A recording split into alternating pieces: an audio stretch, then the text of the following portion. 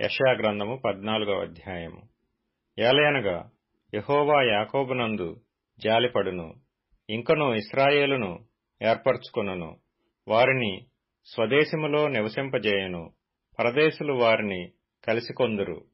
వారు యాకోబు కుటుంబమును హత్తుకొని ఇందురు. జనములు వారిని తీసుకొని వచ్చి వారి స్వదేశమున వారిని ప్రవేశపెట్టుదురు. ఇస్రాయేలు వంశస్థులు యహోవా దేశంలో వారిని దాసులుగాను పనికత్తెలుగాను స్వాధీనపరచుకొందురు. వారు తమ్మును చెరలో పెట్టిన వారిని చెరలో పెట్టి తమ్మును బాధించిన వారిని ఏలుదురు. నీ బాధను నీ ప్రయాసమును నీ చేత చేయింపబడిన కఠిన దాస్యమును కొట్టివేసి యహోవా నిన్ను విశ్రమింపజేయ దినమున నీవు బబులోను రాజును గూర్చి అపహాస్యపు గీతము ఎత్తి ఇలాగున పాడుదువు. బాధించిన వారు ఎట్లు నశించిపోయిరి? రేగుచుండిన పట్టణము ఎట్లు నాశనమాయను?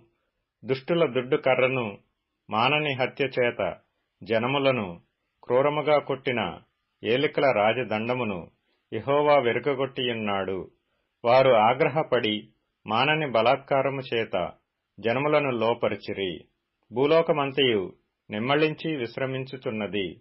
జనములు పాడసాగుదురు. నీవు పండుకొనినప్పటి నుండి నరకువాడెవడనూ మా మీదికి రాలేదని నిన్ను గూర్చి తమాల వృక్షములు లెబానోను దేవదారు వృక్షములు హర్షించును. నీవు ప్రవేశించుతుండగానే నిన్ను ఎదుర్కొనుటకై క్రింద పాతాళము నీ విషయమై కలవరపడుచున్నది. అది నిన్ను చూచి ప్రేతలను రేపుచున్నది.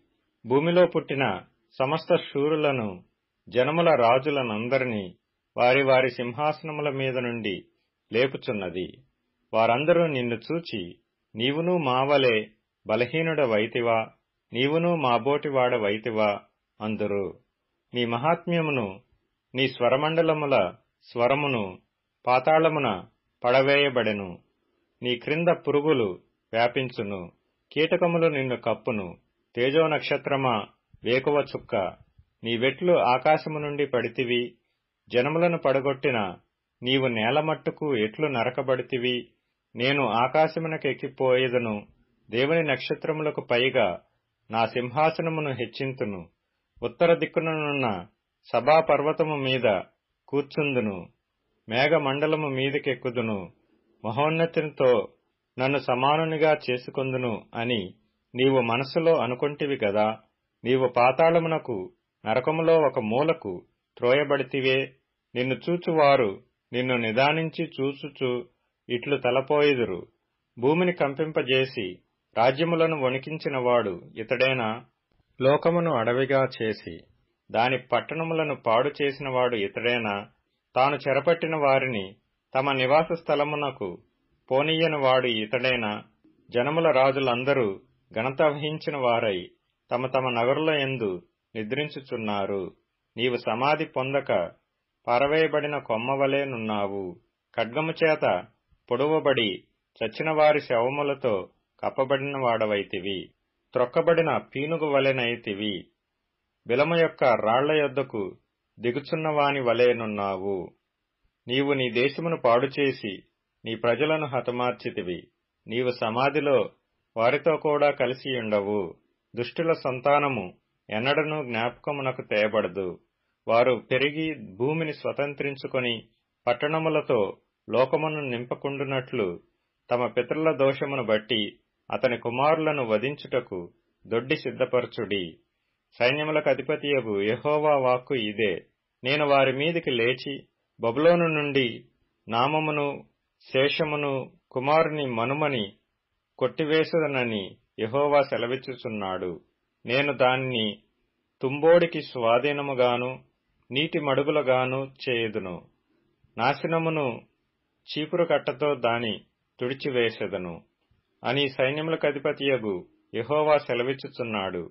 సైన్యములకధిపతియగు యహోవా ప్రమాణపూర్వకముగా ఇలాగు సెలవిచ్చుచున్నాడు. నేను ఉద్దేశించినట్లు నిశ్చయముగా జరుగును. నేను యోచించినట్లు స్థిరపడును. నా దేశములో అశ్షూరును సంహరించెదను. నా పర్వతముల మీద వాని నలుగద్రొక్కెదను. వాని కాడి నా జనుల మీద నుండి తొలగిపోవును. వాని భారము వారి భుజము మీద నుండి తొలగింపబడును. సర్వలోకమును గూర్చి నేను చేసిన ఆలోచన ఇదే. జనములందరి మీద చాపబడిన బాహువు ఇదే. సైన్యములకు అధిపతియగు యహోవా దాని నియమించి ఉన్నాడు. రద్దుపరచగలవాడెవడు? బాహువు చాచిన వాడు ఆయనే. దాని త్రిప్పగలవాడెవడు? రాజైన ఆహాజు మరణమైన సంవత్సరమున వచ్చిన దేవోక్తి ఫిలిస్తియా నిన్ను కొట్టిన దండము తుత్తునీయులుగా విరువబడినని అంతగా సంతోషింపకము. సర్పబీజము నుండి మిడునాగు పుట్టును దాని ఫలము ఎగురు సర్పము.